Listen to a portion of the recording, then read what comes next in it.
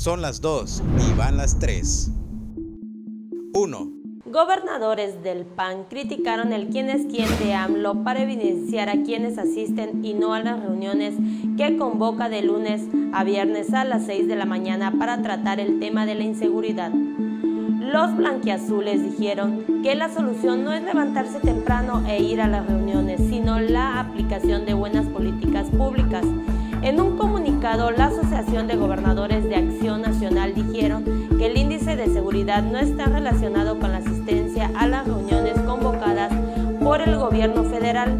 Incluso aseguraron 2019 será en el año más violento registrado en la historia del país los gobernadores de Aguascalientes, Baja California Sur, Chihuahua, Durango, Guanajuato, Querétaro, Quintana Roo, Tamaulipas y Yucatán señalaron que el presidente Andrés Manuel López Obrador no los ha escuchado a ellos ni a los consejeros ciudadanos. 2. A partir del 2020, casi 11 millones de trabajadores que ganan un salario mínimo diario ya podrán satisfacer sus necesidades básicas. Con el alza de 20%, que tendrá dicha remuneración, esos empleados pasarán de recibir 3.123 pesos mensuales a 3.747. Representa 19% más que el costo de la canasta mínima bienestar, que contempla el gasto mínimo en alimentos, transporte público, educación, salud y esparcimiento.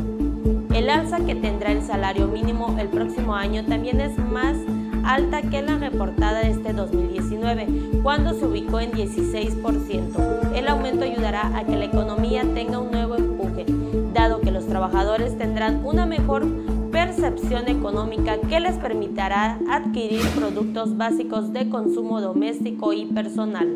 3. Las comisiones del Senado tienen una propuesta de Morena para anular en los hechos la división Estado-Iglesia y se acote el concepto actual del Estado laico al permitir que las iglesias usen todos los medios de comunicación, estén presentes hasta en el ejército, sus escuelas de formación tengan registro de validez oficial, cooperen con los gobiernos en el desarrollo cultural y social de las personas y se pueda objetar la creencia religiosa para no acatar las leyes nacionales y estatales.